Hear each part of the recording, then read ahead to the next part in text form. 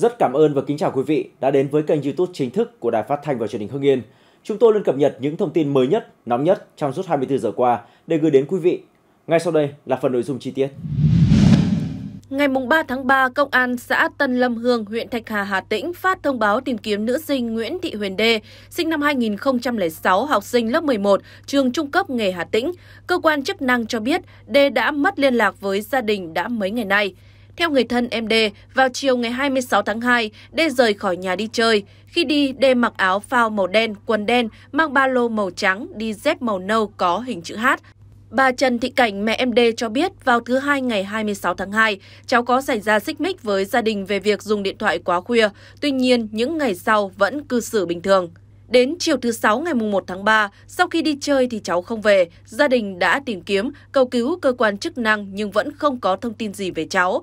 Hiện gia đình đang rất lo lắng, ai biết được cháu đang ở đâu, xin vui lòng liên lạc theo số điện thoại 0913 943 699. Ba Cảnh thông tin thêm. Trước đó, cuối tháng 2 năm 2024, tại Gia Lai cũng xảy ra vụ nữ sinh 16 tuổi mất tích bí ẩn sau khi đi học. Cụ thể, khoảng 12 giờ ngày 24 tháng 2, nữ sinh VTML, 16 tuổi, lớp 10 trường Trung học phổ thông Huỳnh Thúc Kháng, đi học bằng xe máy 81AU 014.71. Đến 16 giờ cùng ngày, cô giáo chủ nhiệm gọi điện thông báo cho gia đình về việc em L vắng học. Lo lắng cho sự an nguy của em L, chiều ngày 25 tháng 2, gia đình đã trình báo sự việc với công an nhờ vào cuộc tìm kiếm. Đến chiều hôm sau ngày 26 tháng 2, nữ sinh L được tìm thấy trong phòng trọ của một bạn nữ trên địa bàn thị trấn Iaka, huyện Iagrai, Gia Lai. Liên quan đến sự việc, công an đã tạm giữ hình sự đối với Trần Ngọc Hát, 20 tuổi, ngụ huyện Iagrai để điều tra về hành vi giao cấu với người chưa thành niên. Được biết, giữa Hát và L có quan hệ tình cảm với nhau. Công an thành phố Hà Nội cho biết, Công an quận Long Biên, thành phố Hà Nội đã lập hồ sơ xem xét xử lý vụ bốn mẹ con nghi nhảy cầu Đông Trù, phường Thượng Thanh, quận Long Biên. Theo Công an thành phố Hà Nội, sáng ngày 1 tháng 3, Trung tâm Thông tin Chỉ huy Công an thành phố tiếp nhận tin báo từ người dân về việc có một ô tô mang biển kiểm soát 88A dừng đỗ trên cầu Đông Trù nhưng không thấy người bên trong hoặc trông giữ xe. Người dân nghi có người nhảy cầu nên báo lực lượng chức năng. Nhận được tin báo, Trung tâm Thông tin Chỉ huy sau đó đã điều động lực lượng cứu nạn cứu hộ và lực lượng cảnh sát 113 Long Biên tổ chức xác minh thông tin và tìm kiếm. Đến 11 giờ cùng ngày, lực lượng chức năng xác định chị NTTH, trú tại xã Hương Sơn, huyện Bình Xuyên, Vĩnh Phúc, là người điều khiển chiếc xe ô tô trên, chở ba con trai đến cầu Đông Trù. Sau đó, bốn mẹ con xuống xe bỏ đi. Mục đích là chị H muốn dọa chồng chứ không có ý định nhảy cầu. Chị H đã gọi điện báo cho gia đình chồng biết bốn mẹ con vẫn an toàn. Trước thông tin trên, nhiều người thở phào vì tính mạng bốn mẹ con không gặp nguy hiểm. Tuy nhiên, nhiều ý kiến bức xúc lên án hành động bồng bột, thiếu suy nghĩ của người mẹ đã khiến nhiều người lo lắng. Đặc biệt, lực lượng chức năng phải vất vả tìm kiếm nhiều giờ giữa trời giá rét. Cộng đồng mạng cho rằng cần phải xử lý người phụ nữ đã gây hoang mang dư luận. Dưới góc độ pháp lý, theo quan điểm của luật sư Nguyễn Anh Thơm, đoàn luật sư Hà Nội, hành vi của người vợ điều khiển xe ô tô dừng đỗ trên cầu, để lại thư tuyệt mệnh cũng như bốn đôi dép trên cầu là những thông tin giả. Hành vi của người vợ đã vi phạm điểm C, khoản 3, điều 7, Nghị định 144-2021 NDCP ngày 31 tháng 12 năm 2021, quy định xử phạt hành chính trong lĩnh vực an ninh, trật tự, an toàn xã hội, phòng chống tệ nạn xã hội, phòng cháy chữa cháy, cứu nạn cứu hộ, phòng chống bạo lực gia đình. Theo đó, người vợ có thể bị xử phạt tiền từ 2 triệu đồng đến 3 triệu đồng đối với hành vi báo thông tin giả, không đúng sự thật đến các cơ quan, tổ chức có thẩm quyền. Ngoài ra, người vợ còn có thể bị xử phạt về hành vi dừng đỗ xe ô tô trên cầu, phạt tiền từ 2 triệu đồng đến 3 triệu đồng.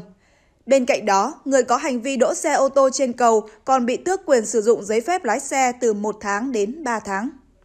Còn theo ý kiến của tiến sĩ luật sư Đặng Văn Cường, trưởng văn phòng luật sư chính pháp đoàn luật sư thành phố Hà Nội cho biết, đây là sự việc không đáng có, sẽ là bài học rút kinh nghiệm cho nhiều người khi đưa tin sai sự thật gây lo lắng cho các thành viên trong gia đình và làm ảnh hưởng đến việc thực hiện nhiệm vụ, công vụ, gây mất thời gian và công sức của cán bộ, cơ quan chức năng. Theo luật sư, việc quyên sinh có thể không phải chịu chế tài của pháp luật, nhưng nếu mang con đi quyên sinh, sát hại con thì đó là hành vi vi phạm pháp luật, là hành vi giết người và người thực hiện hành vi sẽ phải chịu trách nhiệm trước pháp luật với chế tài có thể cao nhất là tử hình nếu còn sống. Luật sư Đặng Văn Cường nêu quan điểm, nếu vì mâu thuẫn vợ chồng mà đe dọa giết con, mang con đi quyên sinh khiến cho những đứa con và những người thân trong gia đình lo sợ sự việc có thể xảy ra thì có thể truy cứu trách nhiệm hình sự người đe dọa đó về tội đe dọa giết người, mặc dù hành vi chưa thực hiện, hậu quả chưa xảy ra. Hành vi giận cá chém thớt vì mâu thuẫn mà mang con đi quyên sinh là hành vi vi phạm pháp luật và rất đáng lên án. Cho dù đó chỉ là ý định, suy nghĩ trong đầu thì suy nghĩ này cũng phải loại bỏ để đảm bảo duy trì hạnh phúc gia đình, bảo vệ tính mạng cho những người thân trong gia đình. Nếu chỉ vì những suy nghĩ không tới, thiếu kỹ năng sống mà người phụ nữ này nghĩ quẩn thì những đứa trẻ vô tội có thể chết oan. Đây là điều cần phải có giải pháp để ngăn chặn, để bảo vệ trẻ em. Luật sư Cường nêu quan điểm. Công an huyện Iagrai Gia Lai đã khởi tố vụ án, khởi tố bị can đối với Nguyễn Ngọc Hiếu, 20 tuổi, ngụ thị trấn Ia Kha, huyện Iagrai về hành vi giao cấu với người chưa thành niên theo khoản 2 điều 145 Bộ luật hình sự. Thông tin ban đầu, Hiếu có quan hệ yêu đương với nữ sinh L và hai người trốn nhà rủ nhau đi chơi nhiều ngày. Do gia đình mất liên lạc, nghĩ cháu L mất tích nên trình báo cơ quan chức năng truy tìm. Trước đó, như đã đưa tin, Trưa ngày 24 tháng 2, VTML điều khiển xe gắn máy biển số 81AU 01471 đi từ 12 giờ thứ Bảy ngày 24 tháng 2. Gia đình đã tìm kiếm nhiều nơi nhưng không được nên đã trình báo cơ quan chức năng. Tối ngày 25 tháng 2, sau hơn một ngày mất liên lạc với VTML, anh Nguyên nhắn tin cho con gái với nội dung về nhà đi con, ba mẹ mong con, con ơi, con ở đâu? Ba mẹ đi đón con về, về đi con, ba mẹ không mắng con đâu. Đến 22 giờ 14 phút cùng ngày, từ Zalo của VTML có dòng hồi âm cầu cứu. Ba mẹ cứu con với đi, con không sống nổi mất. Sau đó, L mất liên lạc. Anh Nguyên được bạn bè của con gái cho biết có nhận được tin nhắn từ Zalo của L với nội dung bị bắt, bị nhốt, bị trói tay và bị đe dọa. Khi người này hỏi lại là đang ở đâu thì VTML trả lời là không biết. Đến khoảng gần 23 giờ đêm ngày 25 tháng 2, bạn bè của L gọi điện đến báo cho gia đình là L đã trốn được ra ngoài đang ẩn nấp tại khu vực Làng Giang gần trụ sở công an huyện. Tuy nhiên, khi bố mẹ đến khu vực này tìm kiếm thì không thấy. Đến sáng ngày 26 tháng 2, gia đình ông N đã tìm thấy cháu L tại một phòng trọ trên địa bàn thị trấn Ia Kha, huyện Iagrai. Thời điểm tìm thấy, sức khỏe của cháu L bình thường nhưng tâm lý lo sợ. Cơ quan Cảnh sát điều tra Công an thành phố Phan Thiết, Bình Thuận đã tạm giữ đối tượng HMH 31 tuổi trú tại xã Tiến Thành, thành phố Phan Thiết để điều tra về hành vi hiếp dâm trẻ em. Theo thông tin ban đầu, vào lúc 20 giờ ngày 1 tháng 3, chị CTH sinh năm 1983 cùng con gái tên LCKL sinh năm 2014 cùng ngụ huyện Hàm Thuận Nam, tỉnh Bình Thuận, đến công an phường Phú Thủy trình báo vụ việc cháu L bị một thanh niên không rõ lai lịch thực hiện hành vi cưỡng hiếp. Theo trình bày của chị H, vào khoảng 16 giờ 55 phút ngày 1 tháng 3, chú ruột của cháu L chở cháu đến siêu thị Lotte Mart, phường Phú Thủy, thành phố Phan Thiết để chơi với bạn và dặn cháu L khi nào chơi xong thì nhờ người gọi điện cho chú hoặc cô ruột đến đón. Khoảng 18 giờ cùng ngày, có một nam thanh niên gặp cháu L và đề nghị chở cháu L về nhà. Cháu L không đồng ý, nam thanh niên liền điện cho người nhà của cháu L nhưng không ai bắt máy. Sau đó, cháu L đồng ý lên xe để thanh niên chở về.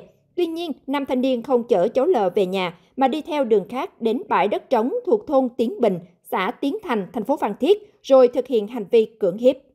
Ngay sau khi nhận được tin báo, lãnh đạo Công an thành phố Phan Thiết đã chỉ đạo Công an phường Phú Thủy phối hợp đội cảnh sát điều tra tội phạm về trật tự xã hội, triển khai xác minh, truy xét.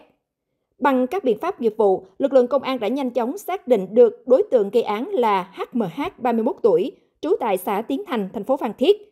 Công an thành phố Phan Thiết đã triển khai lực lượng nhanh chóng truy bắt được đối tượng. Tại cơ quan công an, đối tượng HMH đã thừa nhận hành vi phạm tội của mình đối với cháu L. Hiện công an thành phố đang tiếp tục điều tra củng cố hồ sơ, xử lý đối tượng theo quy định của pháp luật.